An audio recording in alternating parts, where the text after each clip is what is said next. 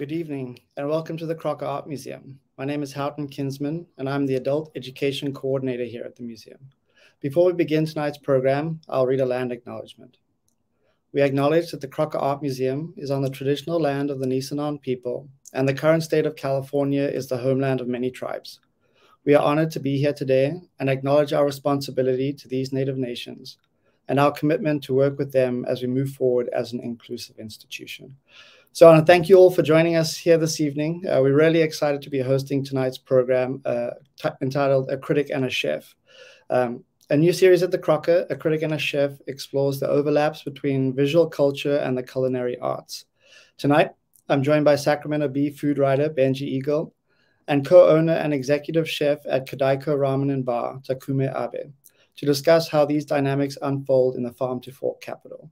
Before we welcome Benjy and Takumi to the virtual stage, a few quick housekeeping notes. This program's uh, evening's program will be available to view again on YouTube. Uh, please use the chat for any comments or questions you'd like us to answer. Um, our new Art Interactive is also available, so grab your copy uh, or visit our website at crockerart.org uh, for more information on upcoming fall programs. I also want to thank all of our members in attendance today for your continued support. Your support, along with those who have donated to tonight's program and those of you who have turned up in numbers to attend this program, is a constant reminder of the generosity of our museum community. So thank you all. Now, onto the program. Born and raised in Palo Alto, Takumi Abe's enthusiasm for food started at a young age. In his 25 year career, he has worked in Malmo, Sweden, Boulder, Colorado, San Francisco, California, and Tokyo, Japan before coming to Sacramento. He is influenced by his Japanese and Swedish American upbringing and the seasons of Northern California and the traditions of everyday food. Opened in Sacramento in 2019, Kodaiko is a seasonally influenced Japanese American restaurant with a focus on ramen made from scratch and craft cocktails. Next up is Benjy Egel. Egel is the Sacramento Bee's food and beverage reporter. Born in Sacramento and raised mostly in Davis, he joined the Bee as a breaking news reporter in 2017. He's a James Beard Award judge, a Cal Poly Journalism Department Advisory Board member, and a sucker for stone fruit in the Sacramento Sun. So, welcome, guys. Thank you. Thanks for having us. It's great to be here. How are you guys doing? Good. Fantastic. Good. You had a good week so far? Good week, yeah. It's uh, finally cooled off a little bit. So, yeah. Enjoy, yeah. Enjoying the nice, cool weather, right? Tuck, it's been a busy week at the restaurant. It has been, yeah, it has been. Um, it's uh, you know now that the weather's cooling off and the the months that end in BER tend to be busier. So we're, we're heading into the season for ramen. Well, I want to thank you both for being here tonight. Um, I'm really excited to kind of jump into some questions around the food industry and restaurants and sort of how that overlaps with uh, visual culture and visual art. Um, so I thought I'd kick off with an introductory question for both of you. Uh, where did your love for food and restaurants begin? Well, uh, yeah, I mean, from young age, yeah, from a young age, I've always been very interested in food and captivated by food. Um, you know, of course, uh, we can all. Well, I can look back to my mom, my grandmother. Um, my mom, even though she uh, had a full time career, uh, she pretty much cooked every night. Um, so uh, I think that had an influence on my love of food for sure. Um, and my grandmother was that. She would, would visit her a lot, and she grew up in rural Pennsylvania, so everything she did was very seasonally influenced um, as well. And for you, Benjy? Yeah, my uh, my mom and my grandma and my dad as well all had a really sizable impact on me at a young age as far as food. Um, but the moment that really stands out after college, I uh, my first job in journalism was in rural Texas, and I was a thousand miles from anyone I knew. Uh, there was a lot of culture shock going on. Uh, it wasn't a city with a lot of other 22 year olds. you know, I, I, had no friends out there basically, and um, food became sort of a self care mechanism for me. That you know, I remember putting like this southern pork uh, rib with a country apple slaw, you know, concoction in the crock pot in the morning and, you know, having a hard day at work, but thinking that that's going to be there at the end of it, you know, getting more experimental with my own cooking, seeking out, you know, interesting restaurants in the city I was in, uh, meeting people that way. And um, for me, I think that's when I really started seeing cooking as, you know, a form of nourishment, um, both mentally and physically and uh, more of a manner of expression when I would go to those, you know, other restaurants because um, they're often run by people who, uh, you know, didn't fit the mold of a small town Texas type of person. So yeah, okay. cool to see. Um, yeah, I, yeah. So um, my one of my earliest memories of well, I should say the first thing that I really loved eating was um, we lived on the Stanford campus in a dormitory. My mom was a grad student at Stanford, and uh, the dorm was called East House, and it was an East Asian focused uh, situation. And the cook was Chinese. And my favorite thing, well, you know, I was three years old, but I still remember having chow fun and just being in love with those soft, plush noodles. Yeah. Uh, mean, because that was sort of my next question. Was there like an aha moment for you when it came to deciding to move into the restaurant or food industry, or was it sort of like a gradual um, evolution? Yeah, so there, yeah, there were several for me.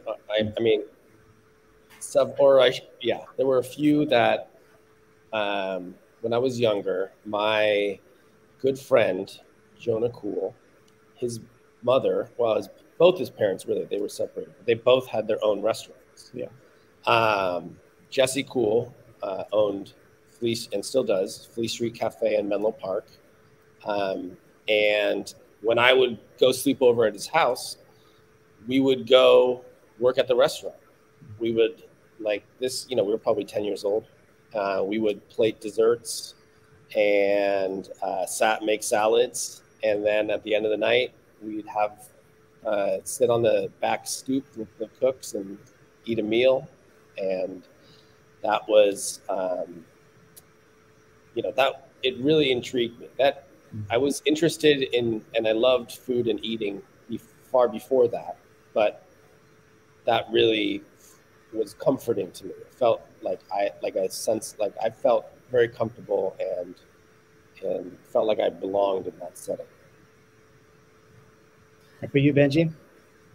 I guess my journey to become a food writer was a little, uh, it was more gradual. Uh, I started interning at the newspaper in Davis when I was 15, covering sports for them. That's yeah. what I thought I wanted to do. I did that for a few years and into college.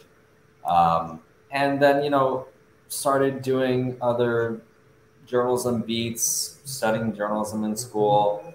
Um, broke out to be a business reporter and then a breaking news reporter at the Bee.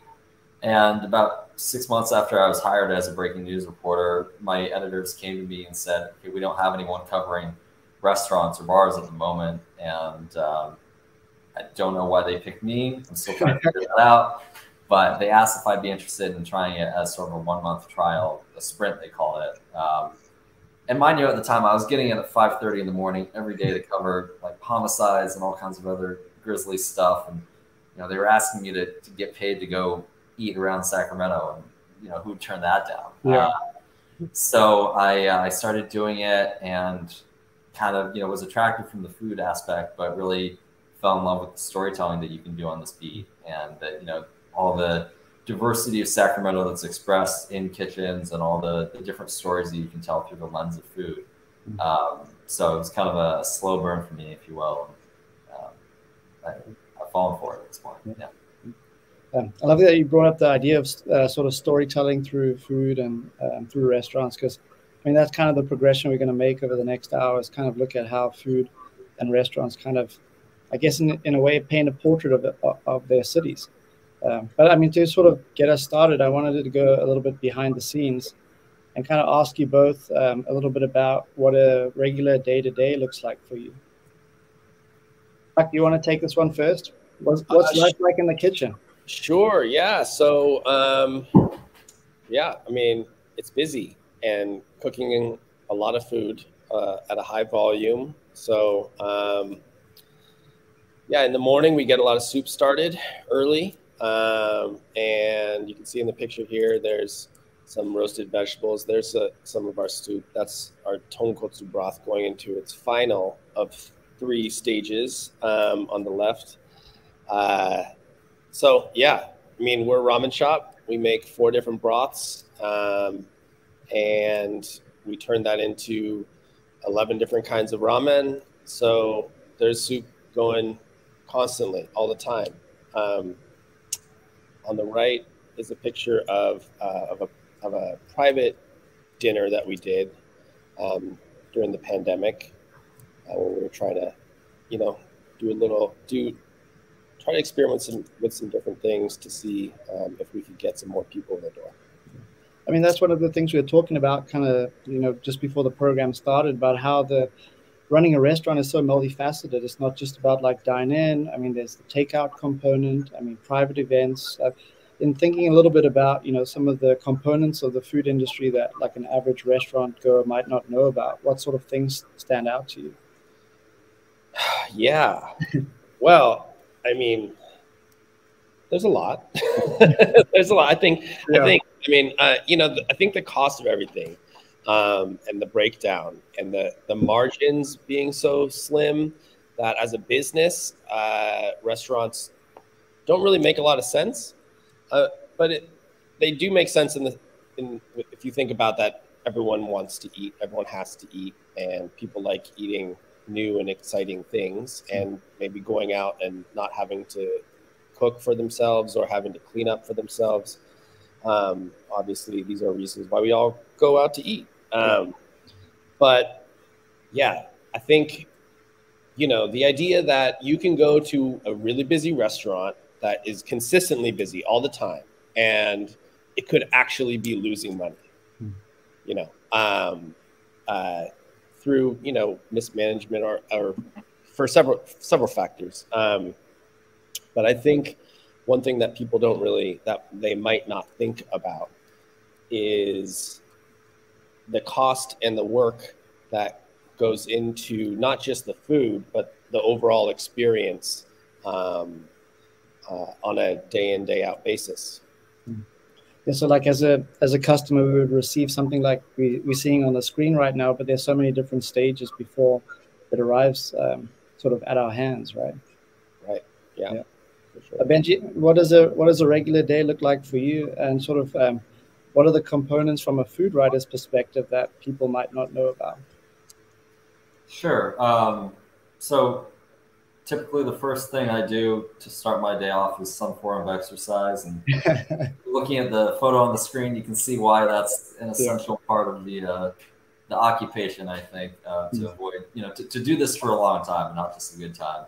Uh, but you know, from there, I, my, my beat is like any other reporters. I'm, I'm checking in with my editor. I'm, you know, scrounging the internet for tips. I, uh, you know, sometimes have sources who want to talk to me on background or I need to make calls to do interviews. Um, I'll typically try and get a lot of the, uh, the talking to people stuff out of the way in the morning, making the calls or, you know, fielding calls or what have you. Um, and then I'll, I'll, usually break for lunch, go out somewhere, or you know, stay in, and then try and write throughout the afternoon. Try and you know, get all my thoughts together and into a, a story. Um, from there, you know, I, I, eat out for dinner a few nights a week. It depends on the work assignments I have. Some weeks it's six or seven nights a week. Uh, other weeks it's one or two. Um, but I'm definitely trying to cast a broad net with that, and uh, so there could be a little drive involved within the Sacramento area. Um, yeah, to places like Pupuseria La Chicana, which is out in Woodland, but delicious.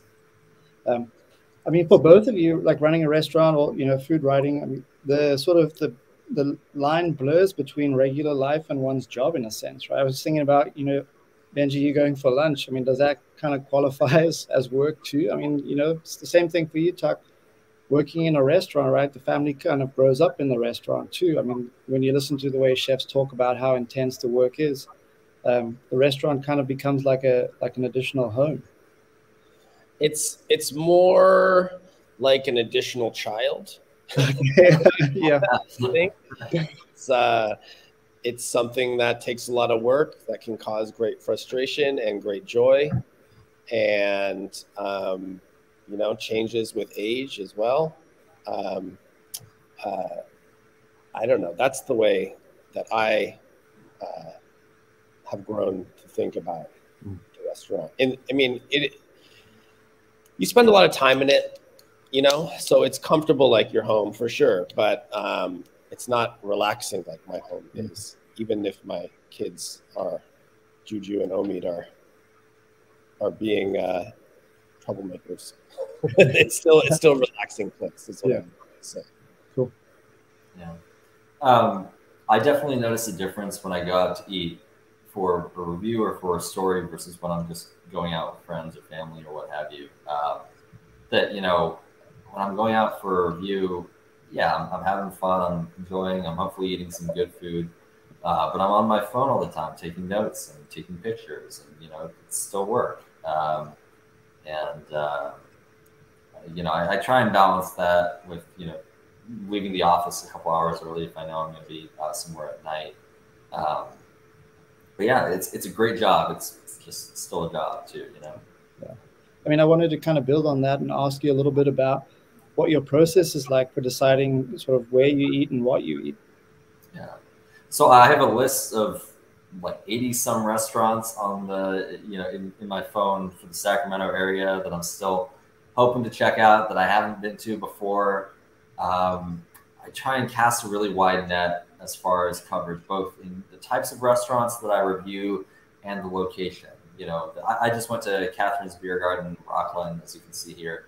So I might not review another restaurant in Rocklin for a couple months now because there's a lot of other cities with interesting cuisine to uh, to go check out. Um, you know, as far as finding places, sometimes it's just looking online seeing what their menu has. If there's you know dishes that I don't really see on a lot of restaurant menus around Sacramento, that'll definitely pop out. You know, that's something that I want to look at if they're doing like you know, for example, a type of Japanese food that we don't really see at a lot of Japanese restaurants. Mm-hmm. That's something worth digging into, investigating. That piques my curiosity a lot of it comes from you know folks just telling me where they've eaten around too, and you know if that grabs me. Takumi was telling me yeah. started this about this like great taco truck with you know wonderful tripas, and you know now that's like part of the list too. That that's somewhere I want to go check out because you know I trust his taste.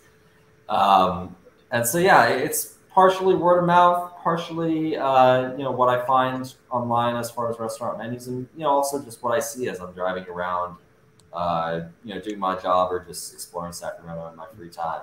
Uh, yeah.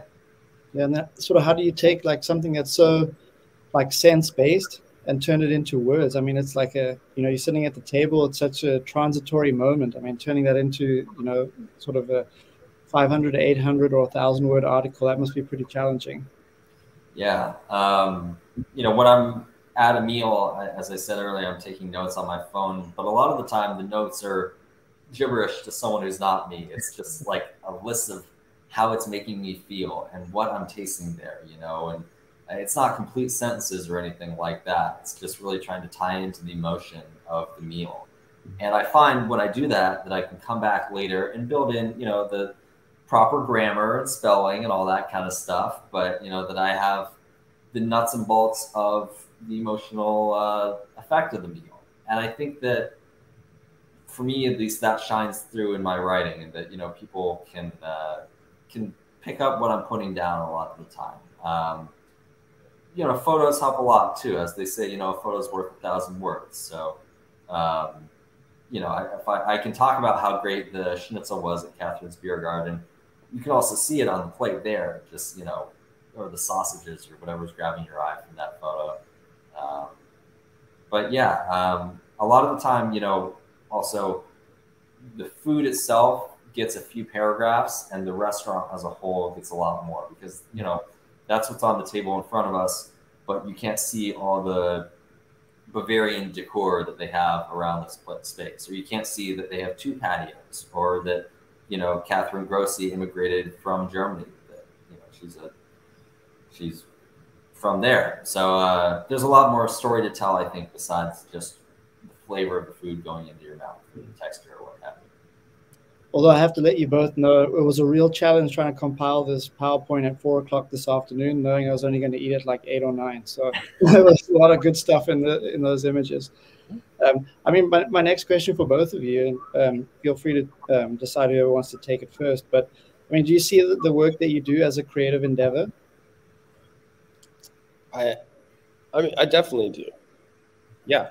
Well, I mean, for one, we are actually creating things, right? Both of us. Um, and, but as far as create, you know, creativity goes, yeah, yeah, absolutely. We try to um, to come up with uh, things that differentiate us um, at Kodaiko from other ramen shops in town, um, and uh, we have a, a change a menu that changes with the seasons or with the months depending on how, how we're feeling, and I think that uh, keeps um, the guests and the, the customer base in, interested and um, we keep changing things up, but it also keeps the cooks engaged and um, the wait staff as well. You know, and um, you know they they want to. The wait staff wants to serve food they that they are excited about, and if it's the same thing all the time, um, I think that's probably less likely. Yeah But we were talking a, little bit about that concept. I mean, in the build up to this, but I mean, when it, like uh, with a painter becomes known for a particular style or you know a particular um, artwork and it sort of gets repeated over and over. I mean, for some people to be able to continue in that vein is very possible, but for others not. I mean, how do you think about that as a chef? Talk like you know having like a signature dish or something, something that's very popular for people but kind of being, you know, I guess bold enough or brave enough to change it if that's what you feel like needs to happen creatively. Yeah. Um, yeah. You know, uh, well, we try at Kodaiko, we try to keep things, we try to not repeat dishes that we've taken off the menu, um, even if they were really popular, uh, for the reasons that I said before, try to keep things fresh and exciting. Um, and we, as a staff, like that creative process. Um, and, um, but, you know, when I think it is easy for um, chefs, for restaurants to get pigeonholed, mm-hmm. kind of for people to um, know you for one thing. And for example, for ramen, right? It's like I make ramen. I have a ramen restaurant, but I've only been making ramen for a small amount of time. But everyone and who I talk to or who knows me through that channel um, kind of just thinks that that's all I know how to cook, right? You know, or that's obviously that is what I specialize in now. But I, as far as my career goes, I haven't made ramen nearly as long as I've cooked, you know, California cuisine, for example, mm-hmm. um, or even Italian food. You know, I mean, but I grew up in a Japanese American household. I grew up eating ramen in Japan when I was a kid, and, um, and here as well. And it is um, my most favorite food. Um, but uh, you know, it's not the only thing hmm. that I can cook. Yeah. It might not even be the best thing that I can cook, to be honest. You know. Yeah, we, we got some good um, pictures of some home cooked meals from the Abe household coming up later on in the slideshow. Um, but Benjy, I wanted to throw the first question over to you. I mean, do, do you think of the work that you do as sort of a creative endeavor? Not so much a creative endeavor. Um, a curious endeavor seems to fit better. I mean, mm-hmm. Takumi's right that you know we okay. do, do, both create things, um, but you know, for me, I don't know. I mean, maybe it's that in journalism you don't get creative with the facts, or you know, that curiosity is sort of what drives you to go out to a, investigate a story or find out what's going on.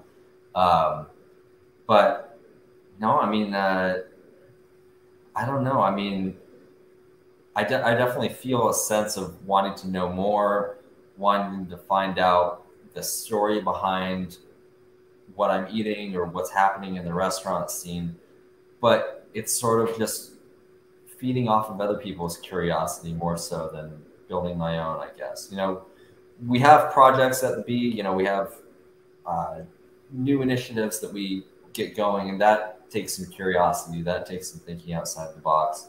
But as far as my day to day work, you know, so some creativity. I'm sorry. Um, you know, I, I want to be creative in my sentence structure and you know how I convey thoughts. I guess, but um, no, I, I would I would say that you know creating the food itself is, is much more of a creative endeavor than, uh, than writing about it. Okay. Cool. I mean, that's pretty good segue into sort of our next uh, topic of discussion. I mean, when we met a few weeks ago to kind of plan this program, um, we talked a little bit about the balance between like the culinary arts and sort of food as sustenance. I mean, the food industry is uh, multifaceted, right? But the concept of food too is so multidimensional. Um, it provides an income for people. It helps keep us alive, but it is, in a way, a sense of of, of artistry. I mean, so how, how, do sort of both of you think about that balance between the culinary arts and sort of this um, idea of food as sustenance? Like, seeing as we got the Abe household um, dinner up here, why don't you take this one? Uh, okay, well, I mean, is is food an art form? Is that what you're asking? Yeah. I I I think it it, it can be. It can be. It does. It isn't always. Um, it art being a form of self-expression, right? I think that food, if you are cooking something, it is to some degree a form of your self-expression, um, a reflection of your past experiences and influences, uh, and um, if you have the wherewithal, then you're able to translate that uh, into food. I think, um, but also, but it's not always like that. You know, that uh, I think. How can I say this? If if you are working in a restaurant where somebody is, you know, has a freezer full of food and your instructions are to when someone orders this, you put it in the microwave for a certain amount of time and you take it out and you unwrap it and you put it on a plate for somebody. Um, you know, there is no self-expression in in, in that case. You know, not so not in all cases. Although I will say I think if you are cooking at home for your family, then there is always uh, a little bit of you in that food. So I, yeah,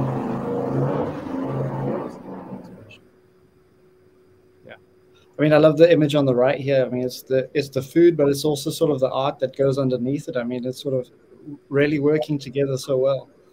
That is my daughter Juju's. Uh, yeah, she was drawing on that and yeah. served dinner right on that because she didn't clear off the table. So it was a pleasure.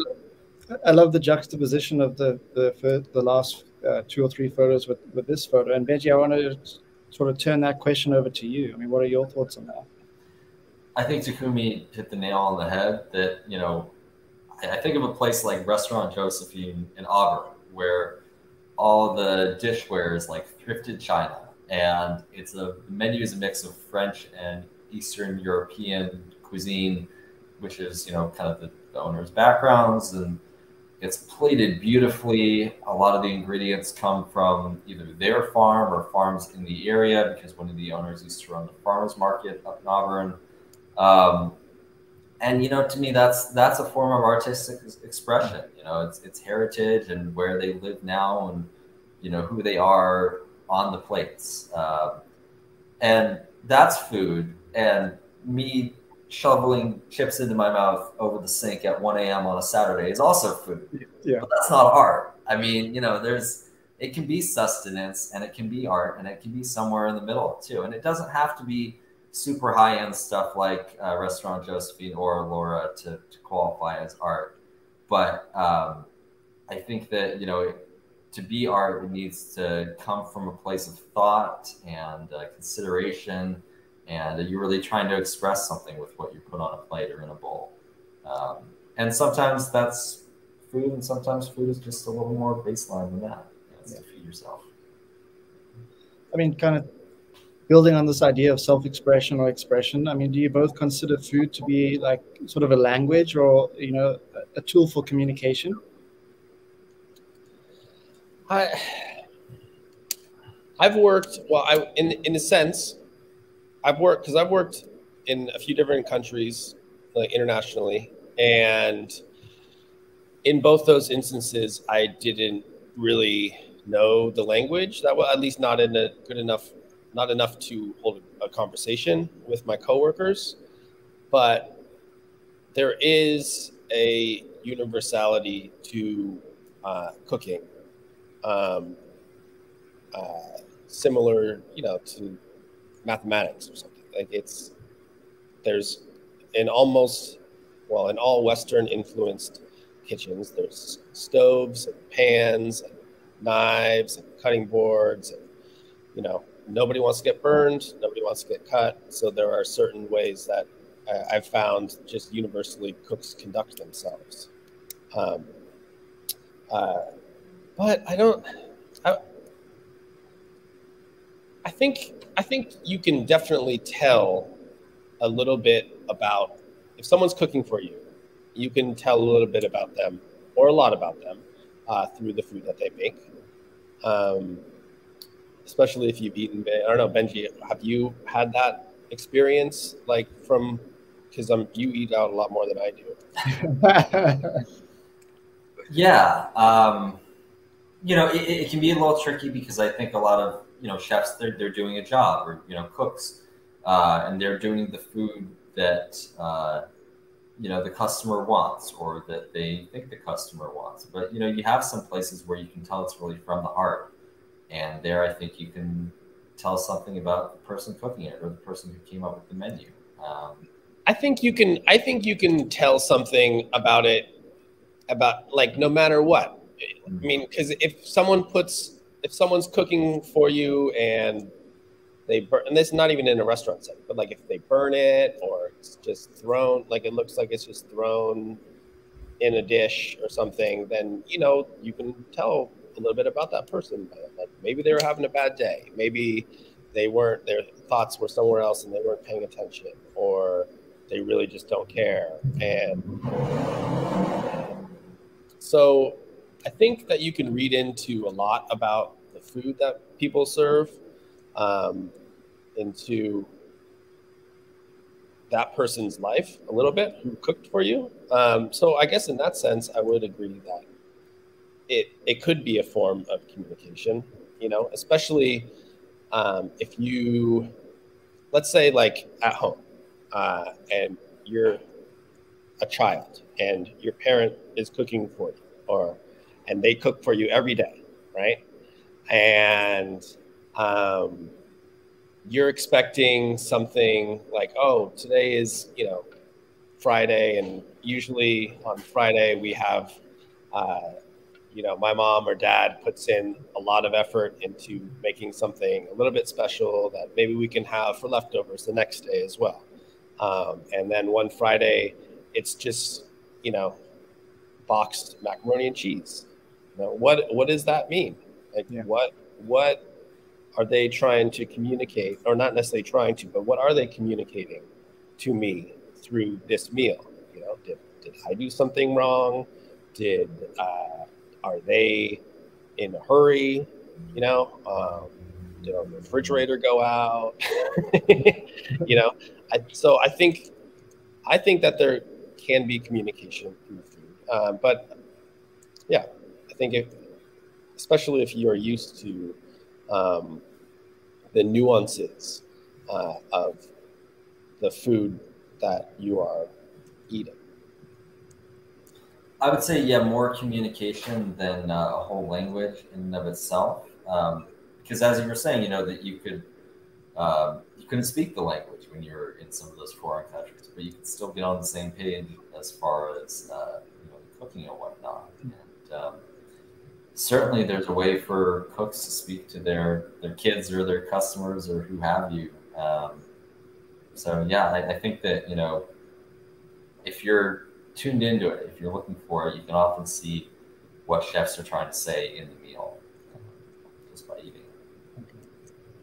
Um, and sort of the last part of the conversation is to focus a little bit on um, I guess the influence of the city of Sacramento on the work that you do, and kind of to jump into some topics related to the food industry here um, in the city of trees. Um, I mean, do you feel like the city itself, you know, its geography, its um, people, its cultures influences the way you work?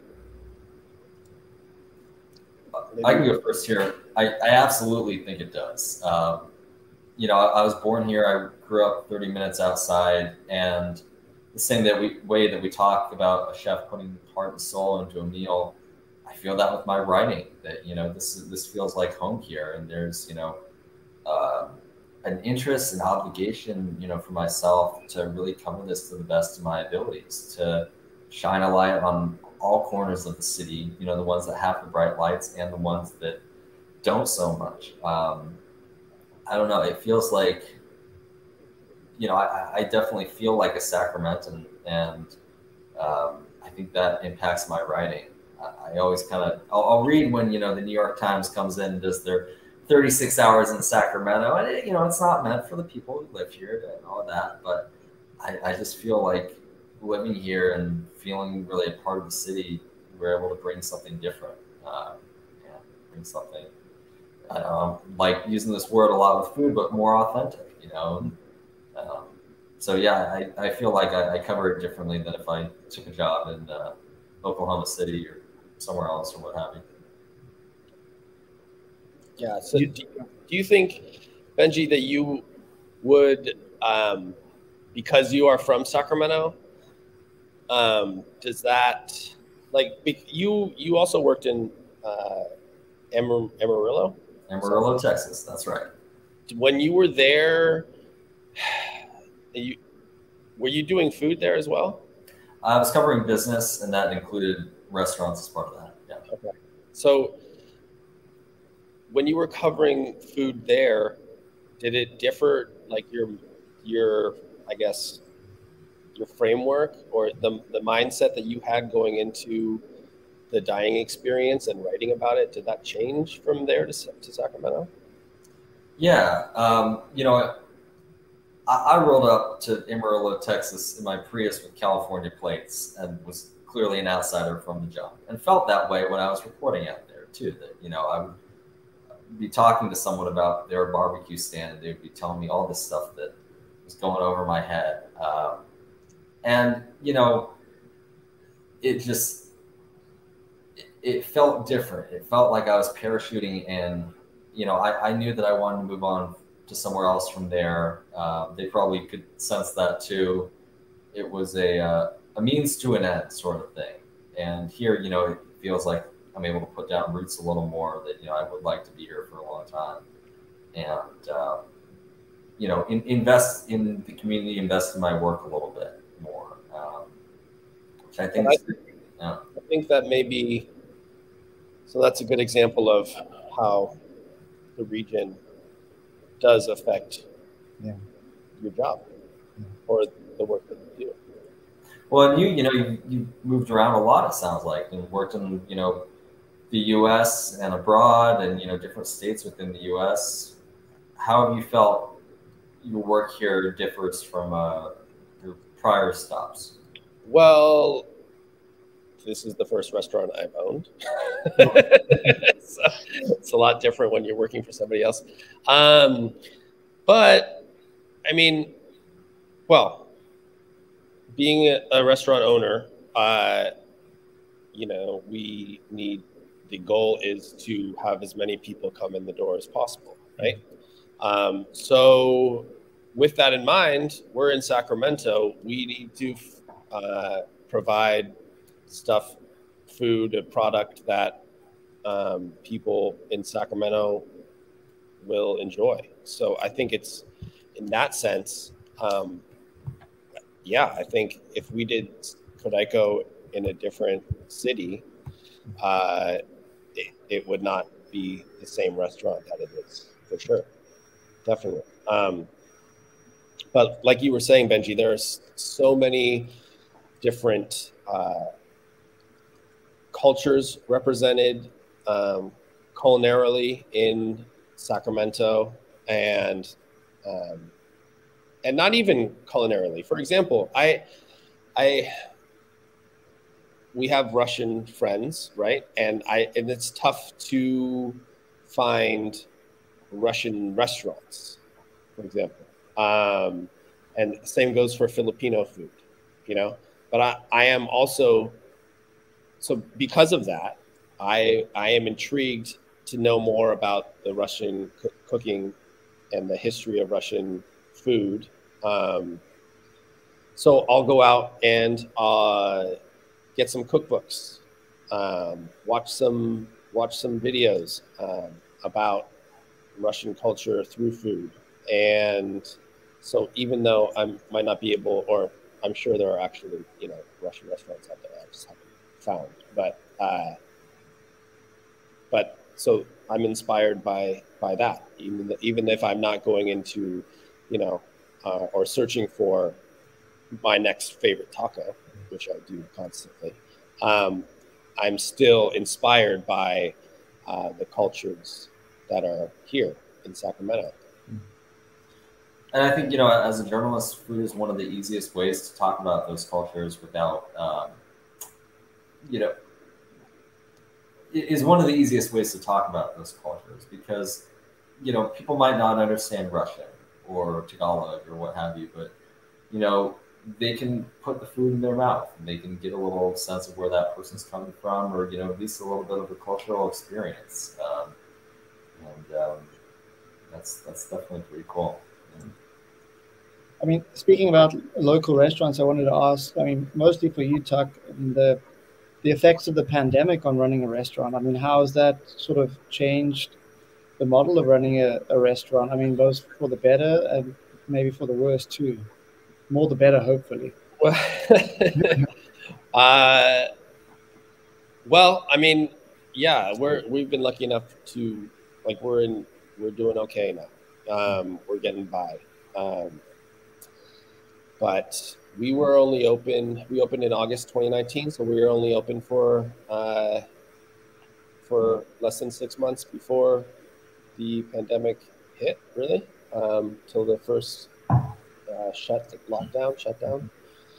So it's it's tough to say. I mean, there there was no history when we were open for the, during that time. There was it was August, so we made it through the winter, and then there was no history to or like records to look back on, like to compare how it was to the year before, because you know we weren't in business then. Um, so, uh, but I can tell you that before the pandemic, we really had um, no takeout business. You know, for whatever reason, people and uh, I mean, people just didn't think about ramen to go. I think, and we were still a new restaurant. Um, so, but now through the pandemic, we were able to get on people's radar for a takeout, um, and we have we spent a lot of time before opening the restaurant on uh, takeout packaging. Um, Billy and Peter, my my partners at the restaurant, ha- really had that foresight that they wanted to try and uh, make it uh, a takeout thing. Um, so we source uh, packaging that is very friendly um, to ramen, and so we keep the noodles and the broth separate and stuff. Um, so that's been one positive that's come through the pandemic. Um, another thing, and, and I'm sure people have heard about in general, just the workforce, yeah. it being harder to find workers, um, not just for restaurants, but in almost every industry, people um, willing to work or wanting to work, eager to work. And um, I think the restaurant industry has changed a lot through the pandemic. Uh, and in, in that way, as one, um, being that for, I'd say, tw- 2020, 2021, it was really hard to find people to work. Uh, and people were getting out of the industry. I think there was a lot of time. Benjamin mentioned it before too that there was like a, a lot of reflection. People had time to step back and think about if they wanted to be in any given industry, uh, and had time to practice or search for other fields to get into. Mm-hmm. Um, so I think a lot, a lot of the workforce in general switched up, and certainly in uh, restaurants. But positive now, not that we're through the pandemic, because uh, we're not, but um, the people who left the industry, um, you know, they obviously were not passionate about it enough to stay in that.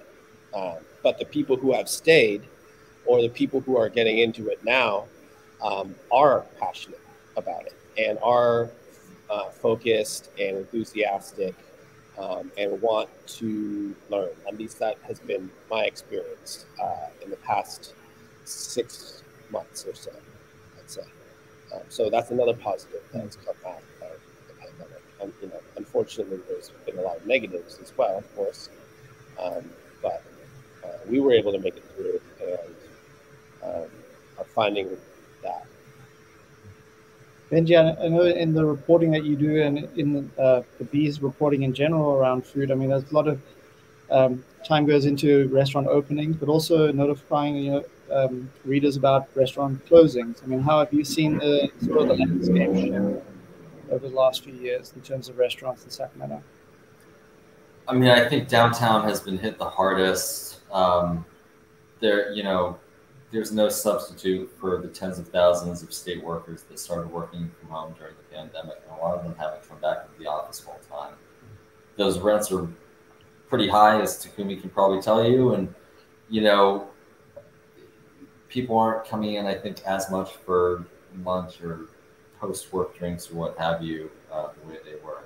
Certainly, you know, in 2020 when things were hardcore shut down, that's when we saw the worst of it. That's when we mm-hmm. saw a lot of places, uh, Ambrosia, Bud's Buffet, you know, those kind of long time downtown places closing up.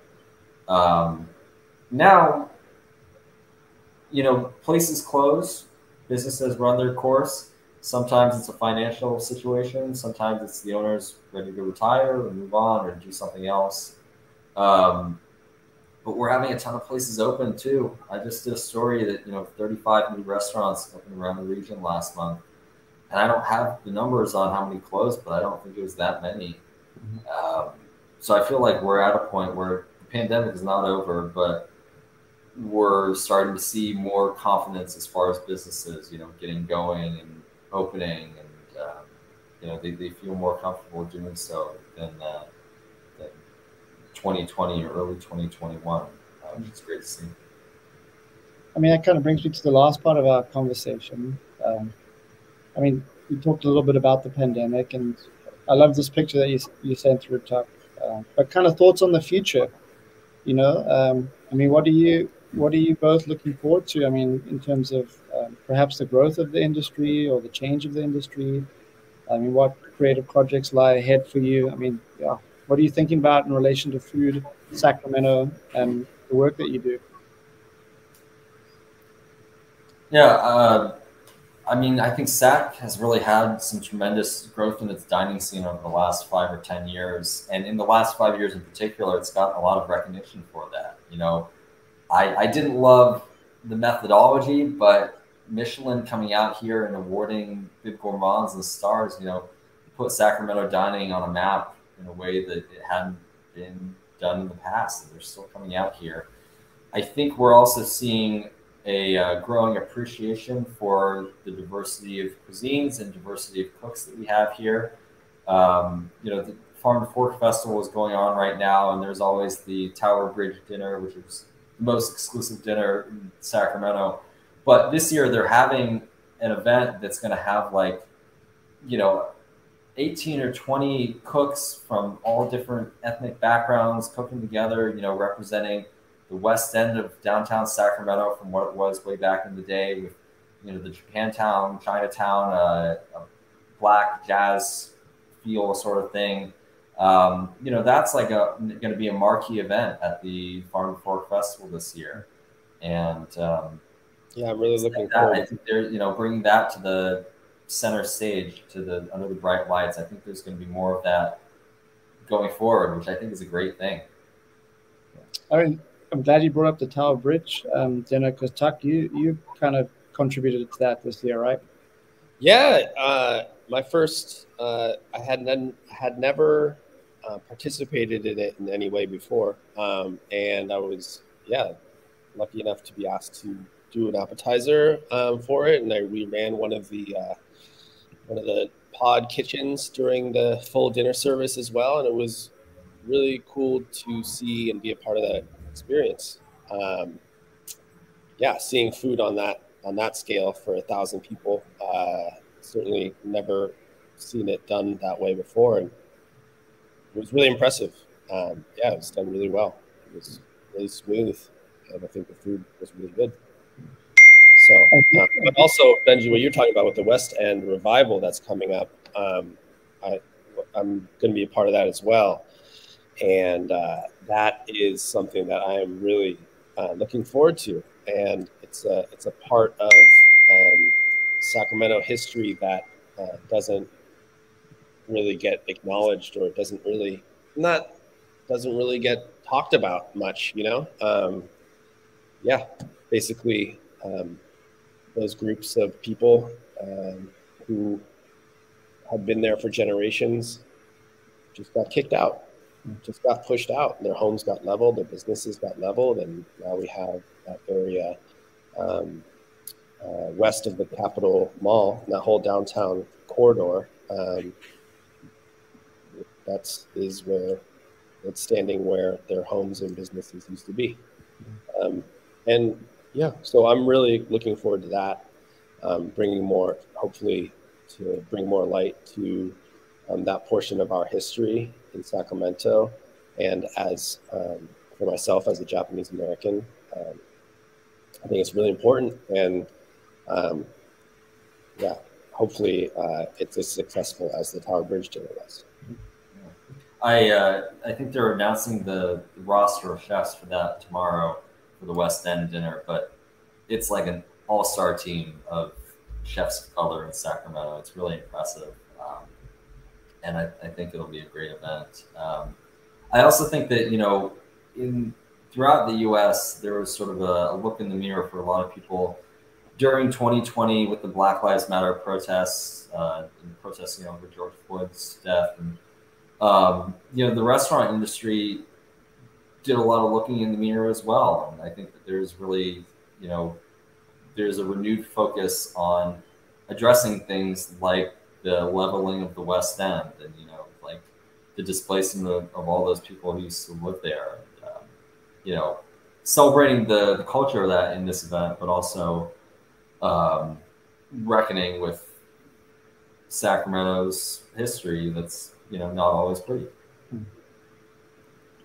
Um, I mean, yeah, and- I think yeah. I think that has something to do also, um, uh, Houghton about has to do also with the uh, the future of the food industry. Um, yeah, I, I think not just um, inclusiveness um, and you know because there the the restaurant industry has a reputation um, and the history, I should say, of being um, misogynistic and um, like very ego driven and um, not just I mean it's not just reputation it, it's the truth.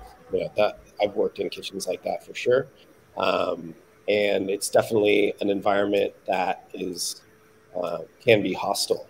Uh, and I think now not I think there is a huge push in the industry to change that. And it really has changed that is another thing that really has changed through the pandemic uh, is just the restaurant culture. Um, uh, in the front of the house and the back of the house. Um, yeah i mean and i think that has a lot to do with the younger generations that are coming up in uh, the restaurant industry uh, being more aware of social uh, norms and wanting to change things that they uh, didn't that they don't feel was right you know? So um, also uh, pay and benefits and quality of life are things that used to be at least in the kitchen kind of a point of pride. Like yeah you know i work 70 hours a week but i only get paid for for 40 hours a week. And you know I, I barely made rent last month. Like those were discussions that you know i've had in the past with coworkers and it wasn't like a complaint. It was like a like yeah you're going through it too you know? Yeah we're doing it too. Like all right is, it was kind of like yeah this is awesome. To put in the hard work and to be able to persevere and to make it through uh, and still survive um, yeah but the, but that culture is changing totally. And we have um, a, we are um, when we opened we wanted to have a model uh, a fairly untraditional model in that um, we uh, the front of the house pools all their tips and we have our cooks get tipped out as well um, a portion of uh, the front of the house tips in, in an effort to um, bring equality to the wage discrepancy or the earnings discrepancy, I should say, between the wait staff and the cooks traditionally. They're- Yeah, that's great. Um, yeah, uh, you know, you, you, you see now more often a surcharge to tip out the back of the house that cooks a little more, or you'll you'll hear about Starbucks stores voting on uni- unionizing or whatnot. And I think that you know, yeah, there is uh, a push in the direction of uh, workers' rights, you could call it, I guess. Um, in, in a lot of industries, but definitely in the restaurant or food industry. I mean, that's a pretty good place to end. Sort of some some hope for um, continued positive change into the future. I was just checking in the chat. I mean, lots of Kodaiko fans watching, um, but it's like you both answered all the questions, so no questions in the chat. So I guess I'll kind of round out with one last question. I mean, speaking about the future, what lies in wait for you both for dinner this evening? well, I uh, couldn't wait, so as I had uh, stopped and got a burger from Shake Shack before we started here this evening, and so that was my dinner. It was pretty good too. Not as good as In and Out. Yeah. just di- different, different, but good. I grilled up some chicken with some, you know, array of Middle Eastern spices the other night uh, and some veggies, and I'll either reheat that or see if my coworkers are still drinking at Stackyard Beer Tap Room and yeah. head over there. And they have a uh, an Argentinian food truck over there. As I say it out loud, that's kind of sounding more appealing. nice. That sounds pretty good. Well, I want to thank you both for taking the time to be here this evening. Uh, I hope to be able to do some more of these types of programs in the future, bringing sort of you know uh, journalism and writing and you know the arts and food and restaurants together. So thank you both for being open to kicking it off for the first time. And yeah, I hope to be in touch soon. Thank you, Houghton. Take care, guys. Thanks so much for having us. Thank you, everyone, for watching as well. Well, thanks everybody for joining us this evening. I hope you enjoyed that program. Um, don't forget to grab that Art Interactive magazine or check out our website uh, for more upcoming programs in the fall. Take care. Have a great evening.